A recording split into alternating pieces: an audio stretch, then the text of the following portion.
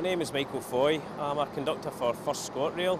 It's a, a, an extremely uh, rewarding job that we do. An awful lot of people actually thank us when they board or leave the train, which actually makes you feel quite good. I was actually in secondary school when I was actually doing my subjects and I seen people round about me actually getting work and having money coming in. And I thought, well, yeah, I want to earn money.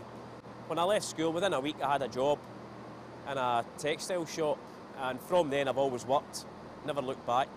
I was there for about three, four years and uh, after that I ended up actually working for the council doing gardening, which I really enjoyed. I had the family quite young, I was 18 when my daughter arrived and that really changed things. I then knew that I had to go out and have a good job, bring in decent money so that I could support my family. To me that's really, really important.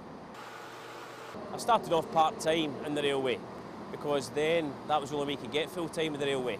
And I knew then that it's one of the jobs that in this country, it's one of the few jobs left where you may have a job for life.